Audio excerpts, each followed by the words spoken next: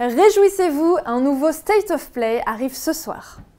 Quand PlayStation annonce un State of Play, on est toujours content même si on n'a pas de PlayStation. Dès 18h ce soir, vous pourrez rejoindre l'événement State of Play sur Twitch ou YouTube pour près de 5h20 consacré à la suite tant attendue d'Horizon Zero Dawn. Et oui, 5h20 car de 18h à 23h, ce sera le pré-show qui est annoncé sur le blog de PlayStation comme un compte à rebours unique. Puis, ouverture des festivités à 23h heure française pour découvrir ce que nous réserve Horizon Forbidden West. Au programme, un premier aperçu du gameplay 11 mois après sa toute première présentation lors du PS5 Showcase. Mais ce n'est pas tout. On pourra également découvrir 14 minutes de gameplay inédit avec Aloy, l'héroïne de la saga capturée sur PlayStation 5. Une annonce qui, maintenant qu'on y pense, avait été finement lors des derniers mois, le pack Aloy ayant débarqué sur Fortnite et Horizon Zero Dawn faisant partie des jeux gratuits à télécharger jusqu'au 14 mai à l'occasion des jours Play at Home.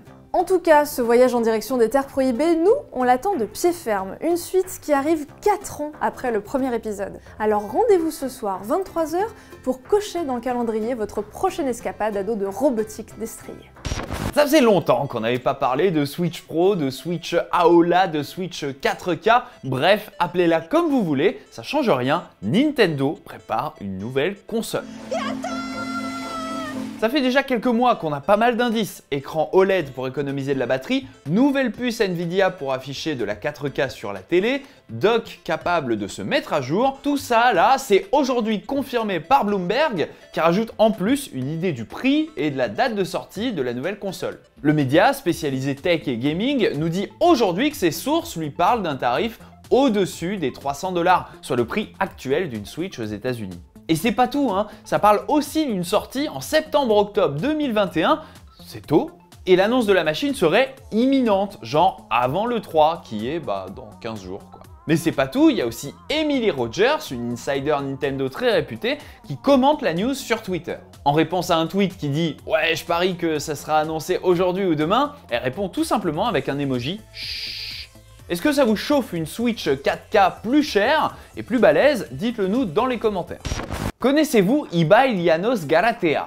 C'est un youtubeur, streamer et commentateur e-sport espagnol et c'est une superstar dans l'écosystème hispanophone qui évidemment est bien plus vaste que l'écosystème francophone. Il totalise plus de 6 millions de followers sur Twitch, ce qui est assez énorme. En comparaison, Zerator et Domingo, c'est 1 million de followers, Squeezie presque 3 millions et Gotaga 3 millions. Et donc Ibai, hier soir, il a dégainé la velada del año, littéralement la soirée de l'année, un combat de boxe entre youtubeurs casté par Ibai et ses amis. Faut croire que le public était au rendez-vous puisqu'ils ont fait un pic à 1,5 million de viewers, c'est juste énorme. Mais c'est pas le record du monde. Le plus gros record de viewers, il est tenu par The G, un autre espagnol qui dévoilait son skin Fortnite devant presque 2,3 millions de spectateurs. Pour la petite histoire, Ibai avait tweeté dans la soirée pour dire qu'il monterait sur un ring dans un an si le stream atteignait le million de viewers. Le rendez-vous est donc pris. Ce 27 mai, c'est la fiesta, moultes actus jeux vidéo et parmi elles un gros bilan bien fat de Sony. On y apprend plein de choses très intéressantes sur les objectifs de l'écosystème PlayStation et parmi les slides, qui c'est qu'on voit pas arriver? Uncharted 4 A Thief's End.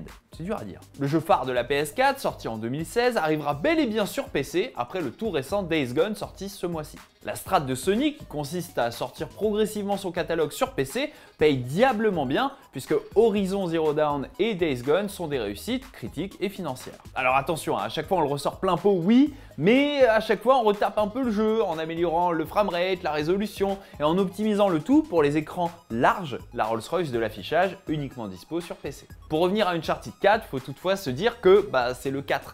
Comment ils vont faire les joueurs PC sans l'histoire complète? Est-ce que ça veut dire que la Nathan Drake Collection qui comporte Uncharted, Uncharted 2 et Uncharted 3 va elle aussi arriver sur PC Et puis il y aura quoi ensuite? God of War, Bloodborne qui est hyper demandé? Pour l'instant, pas de réponse, mais histoire de se consoler, on a pu voir une seconde et demie du film Uncharted.